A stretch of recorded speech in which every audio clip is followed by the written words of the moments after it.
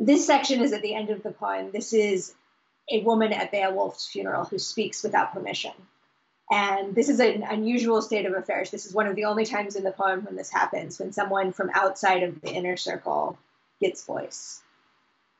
Then another dirge rose, woven uninvited by a Geatish woman, louder than the rest. She tore her hair and screamed her horror at the hell that was to come. More of the same. Reaping, raping, feasts of blood, iron fortunes marching across her country, claiming her body. The sky sipped the smoke and smiled.